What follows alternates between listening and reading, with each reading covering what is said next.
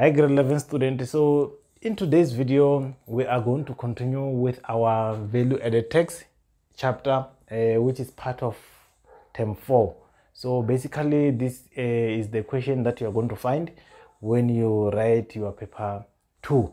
Okay. So uh, I already done part 1, which we were doing calculation, a basic of what is VAT, exemption, zero rated and so on and so on. So you must go and watch it if you haven't watched part one. So into this lesson guys you are going to learn the issue of vat input and the issue of vat output. So you have to to, to listen very very carefully because uh, at some point it's difficult if you don't have an understanding but it's very simple if you have a understanding. Okay so uh, before we go to the question paper, let's uh, start by explaining these two keywords. Okay, when we talk about VAT input, uh, we are talking about a VAT that we claim from SARS. We claim okay, we claim from SARS. Okay, why do we claim? The reason why we claim from SARS is because when we are busy with transition of the company, we did some expenditures. Another keyword, we incurred expenditures. Okay, actually, there is no any benefit as a company that we have made. No benefit. No benefit by the company. No benefit by the company or the owner of this business.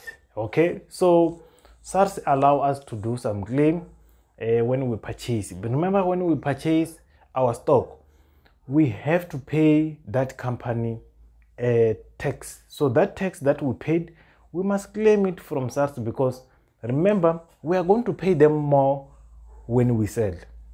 VAT input is when we, we are claiming.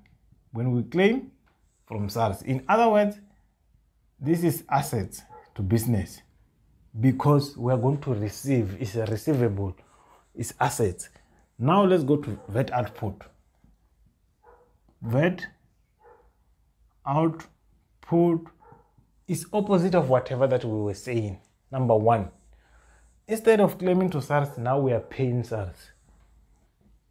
We have to pay SARS. Number two, we didn't incur expense, but we receive cash. Received cash. It can it can be either we receive cash through uh, a sales when we sell to our customer. It doesn't matter whether it's a cash or credit. As long as we sell, we have to pay SARS. And the other one, we benefit. Remember, guys, of course, when we sell to customer, we benefit because customer give us what? Cash. Okay? And the last one, Instead of assets, this is liability. We owe SARS. This is liability. We owe SARS. We benefited. This side, we didn't benefit. That's why we're claiming. So that's what you have to think about. Benefit or no benefit. So once you have this basic that I was doing here, guys, uh, this chapter is going to be very simple for you. Let's start. The following information related to Tabza store for the VAT period end 31 October 2023. The, the business is owned by Terence Gabuza. All goods sold are subjected to 15% VAT. Required. Calculate the VAT amount that is either receivable from or payable to SARS on 31 October 2023. State whether the amount is either payable to or receivable from SARS and the information. Number A. Amount owed by SARS on 1 October 2023 is 38,200. Okay, and information number B, that's what we're going to deal with transaction. Let's start with number information number A. Amount owed by SARS. SARS owe us.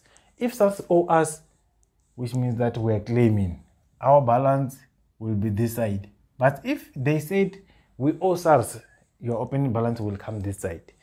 Owed by SARS is 38,200. Uh, okay, now number B, if you check, we have excluding column, VAT amount, and inclusive. So we only focus on VAT amount. Only VAT amount, exclusive and inclusive is a no.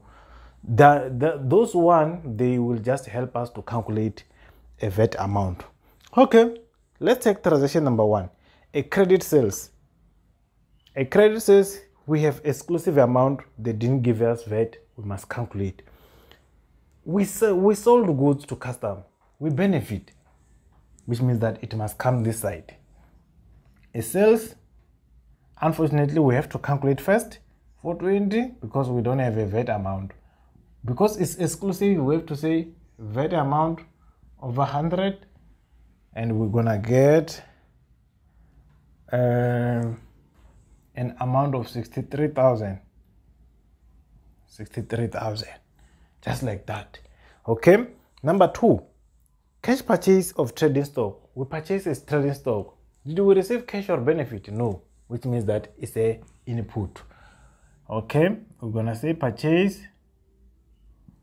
And in this case, no calculation because they give us VAT amount of 17,025.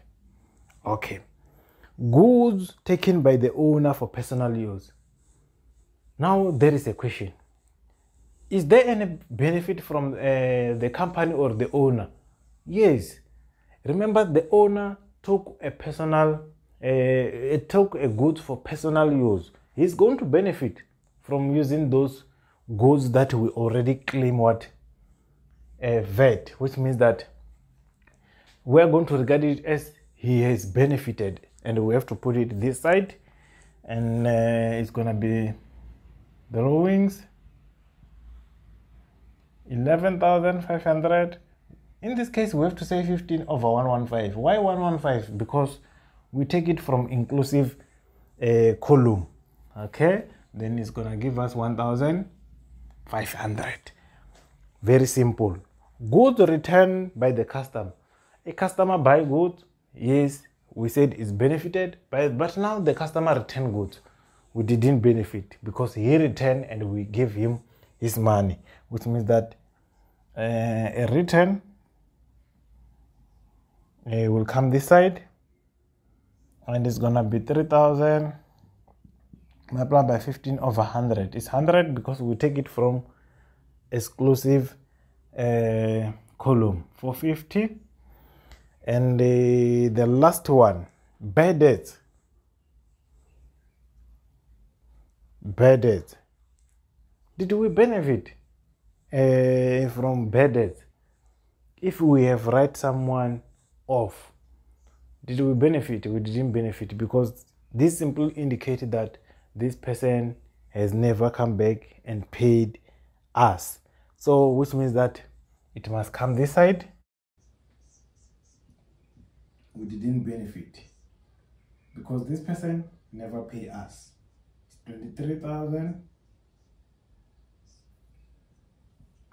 multiplied by 15 over 115 okay it's gonna give us 3000 okay now we have to calculate uh, which side is higher. Uh, obviously this side is the one which is higher. Uh, I need to recalculate here. Uh,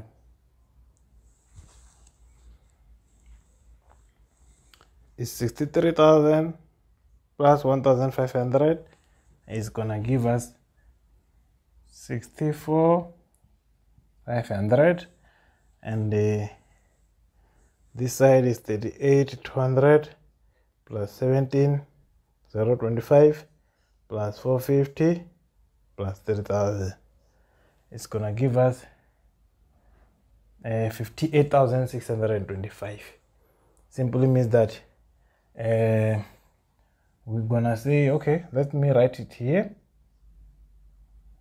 Uh, remember all, all side must be equal 64 500 which means that the balance will come here.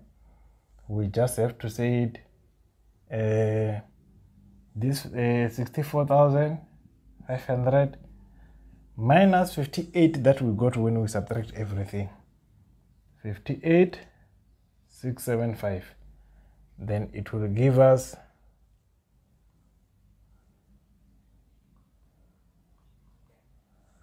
five thousand eight hundred and twenty-five. Okay, five eight twenty-five. This is the balance which we have to carry it down this side. Balance. If we carry it down this side, it simply means that this is the payable. Remember the question said calculate receivable or payable.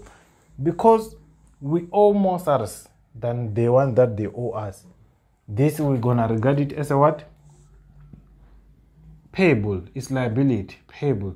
But if we carry it down this side, it's gonna be a receivable. So I hope you learn something. So guys, those who haven't subscribed to this channel, please let's make sure that we do so um, so that we can keep growing and growing and uploading more videos. And for those who want to join our extra class, they're still available.